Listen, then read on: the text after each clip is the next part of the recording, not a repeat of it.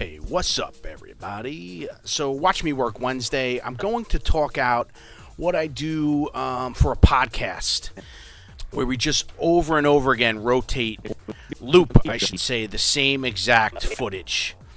So, I have this podcast here for JetNation.com, the greatest Jet fan site, forum site in the world. And what I'll do is I'll go into After Effects and I'll make a one minute looping animation. So there's the source of the new one. Okay.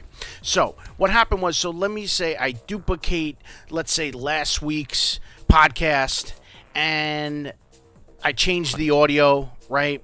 And then I'm left with, in this case, the record sense. I, I want to replace all of this, this looping video. So I have my new video here that I created in After Effects, and what I would do is I'm going to cut the first one in. Double check, of course, I, I know it should be right, but...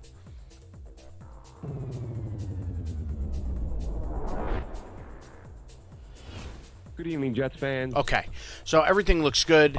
And now, in a sense, what I want to do is loop, after this transition, I just want to loop this graphic. Okay, I got the footballs flying through the screen and the text stays the same the whole time. So I have uh, 55 seconds of this loop.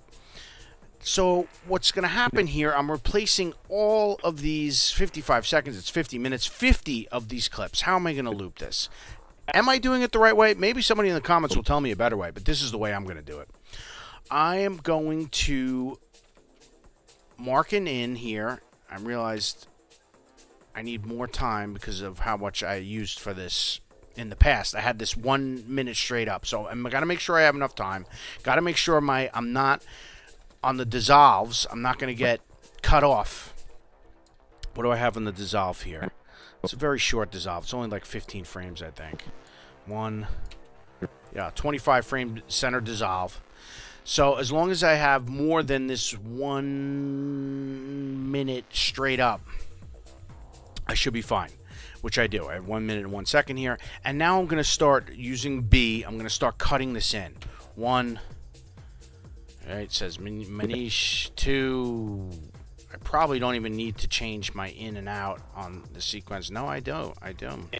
So Z, I'm just gonna hit B. At this point, I would probably actually, just for time's sake, I would, uh, I would, I would lose the monitoring button right there, so I don't need to monitor and I'm going to keep going probably to only about, I don't know, 9 or 10 when I get bored, and then I'm going to render. And you're going to see why in a second here. And I'm going to expand this out while it renders so I can talk about something else. Render.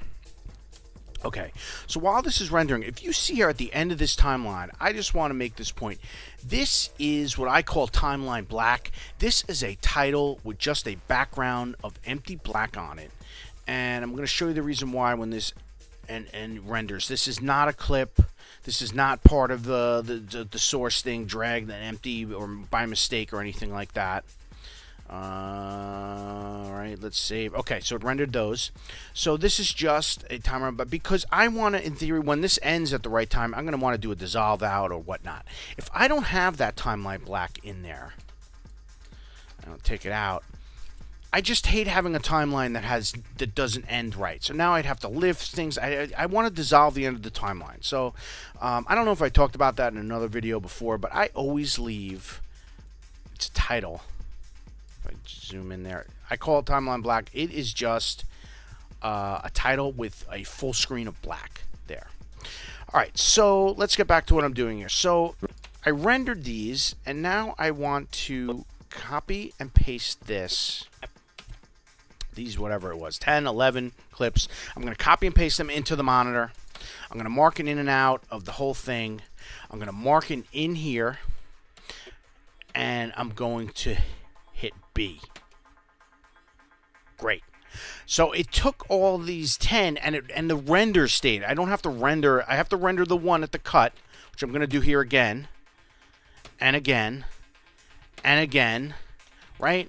I'm going to get rid of this old one I'm not going to render this for time's sake in the video, but I would render these three, and then all I have to do now is go to the end, We want to thank once again our guest Manish Mehta.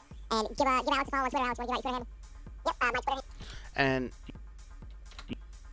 let's just pretend here. Who cares what it is? But imagine here, and I'm, I'm going to do the dissolve out. Um, we're not going to get specific on it for this video's time sake, and I would dissolve out, render, and I'm done. I just replaced an hour looping video. Let's let's turn the monitor on so I can see it. Come on, come on, baby. Come on. All right. So I just replaced an hour looping video, one minute at a time, hopefully really short. That was Watch Me Work Wednesday. JetNation.com is the best site for Jet fans. And AvidBeer.com is the best site for learning Avid. And have a great day, and I'll see you in the next video. Some people think Avid is really hard to learn, but that is not the case, and now there's an online course to prove it. Get all of the info and all of the details at avidbeer.com.